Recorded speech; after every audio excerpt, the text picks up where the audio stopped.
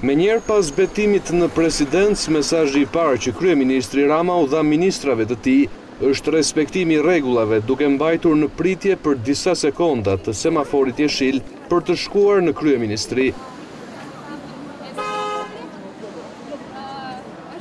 Kryeministri nuk mbajti një fjalim pas marrjes së detyrës, siç bëri katër vite më parë, por nuk humbi aspak kohë për të zhvilluar mbledhjen e Qeverisë.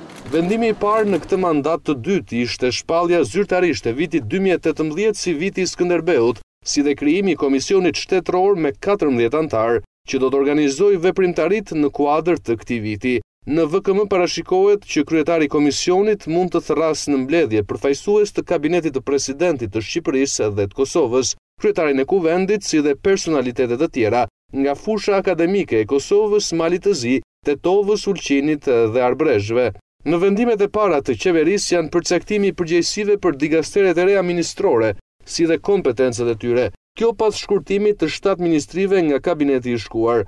Veç të tjerash parashikohet që tashmë Ministria e Jashtme do të ketë në detyrat e saj edhe bashkërendimin e punëve në procesin e integrimit të Shqipërisë në BE. Qeveria gjithashtu vendosi miratimin e një fondi ndihme prej njëqind mijë dollarësh për Shtetet e Bashkuara si pasojë e fatkeqësisë natyrore nga uraganet. Gjithashtu qeveria do të restaurojë godinën e ish-Lidhjes së Shkrimtarëve në të cilën janë vendosur organet që do të kryejnë vetingun në reformën në drejtësi. Kolegji i Apelimit do të vendoset me vendim qeverie në një pjesë të godinës së Kontrollit të Lartë të Shtetit, ndërsa Qeveria do të përcaktojë edhe mënyrën e përzgjedhjes së kandidaturave për kryetar dhe anëtarë të Komisionit të Prokurimit Publik.